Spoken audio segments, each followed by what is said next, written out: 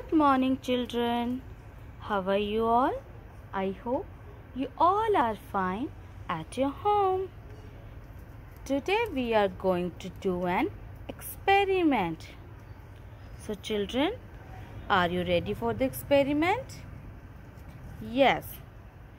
So, today's topic is transpiration. Do you know, children, what is transpiration? The process of water passing out from the surface of a leaf or a plant is called transpiration. So children, आपको पता है plant को grow करने के लिए क्या चाहिए होता है? प्लांट को ग्रो करने के लिए पानी चाहिए होता है सनलाइट चाहिए होती है राइट तो आप पानी जब देते हो प्लांट्स को तो कहाँ देते हो? लीव्स के ऊपर या यहाँ? आप यहाँ देते हो पानी? तो आपको पता है प्लांट को ग्रो करने के लिए बिल्कुल थोड़ा सा पानी चाहिए होता है, बिल्कुल थोड़ा सा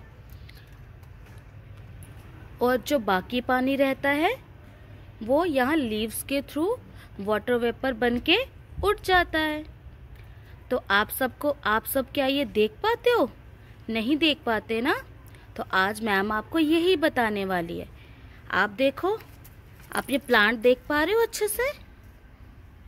देखो, अभी मैम क्या करेगी? मैम इस वाले प्लांट को, इतने से पोर्शन को ट्रांसपेरेंट पेपर से कवर करेगी। तो आफ्टर टू आवर्स हम देखेंगे कि जो वाटर ड्रॉपलेट्स हैं, उसकी वजह से हमारा जो पॉलीथीन है, वो सारा गीला हो जाएगा। ठीक है? क्योंकि हम तो उसको कवर कर देंगे। और जब हम इसे कवर नहीं करते हैं तो ये वाटर वेपर बन के उठ जाता है। ठीक है? तो आज हम ये प्रोसेस को देखेंगे। तो अब हम सबसे पहले इसको ट्रांसपेरेंट पेपर से कवर करेंगे। लुक एट दिस मैंने कौन सा पेपर लिया? ट्रांसपेरेंट वाइट कलर में। देखो, इसको अच्छे से कवर कर देना with the help of thread आपको थ्रेड की हेल्प से इसको अच्छे से कवर कर देना ओके चिल्ड्रन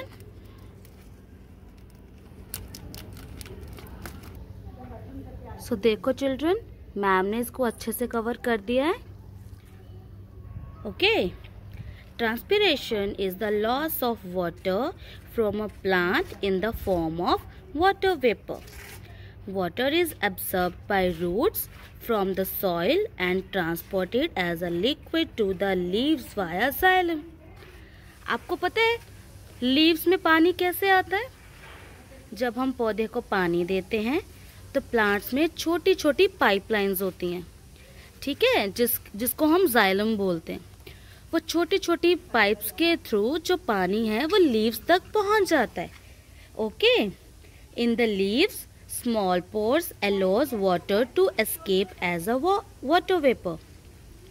तो आपको पता है, ये जो लीव्स हैं छोटी छोटी इनमें छोटे छोटे पोर्स होते हैं, ठीक है? जिसमें से वाटर ड्रॉपलेट्स निकलती हैं और वाटर वेपर की फॉर्म में उठ जाती हैं। Water is necessary for plants but only a small amount of water taken up by the roots is use for growth ठीक है? प्लांट को ग्रो करने के लिए बिल्कुल थोड़ा सा पानी चाहिए होता है। And the remaining 97 to 99.5 percent is lost by transpiration तो जो बाकी पानी है, वो ट्रांसपीरेशन के थ्रू उड़ जाता है। सॉरी वाटर वेपर के थ्रू उड़ जाता है और इस प्रोसेस को हम क्या कहते हैं? ट्रांसपीरेशन तो देखो मैम ने इसको अच्छे से कवर कर दिया है। हम कुछ देर बाद दोबारा देखेंगे और देखेंगे कि इस पॉलिथीन के ऊपर छोटे छोटे वाटर ड्रॉपलेट्स आ रहे हैं। ठीक है? और ये प्रोसेस हम सिर्फ़ तभी पॉसिबल है जब धूप आ रही हो अच्छे से। ठीक है?